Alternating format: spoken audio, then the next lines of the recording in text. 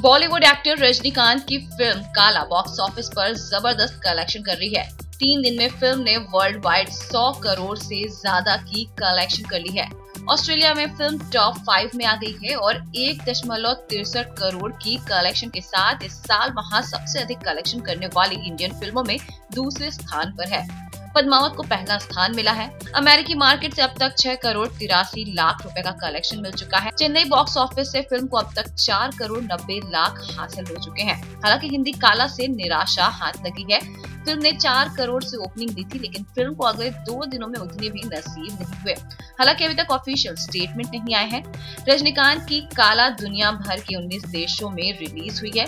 तमिल में काला को इरुम भाई थिराई नाम से रिलीज़ किया गया है। फ़िल्म में रजनीकांत डॉन के कैरेक्टर में है।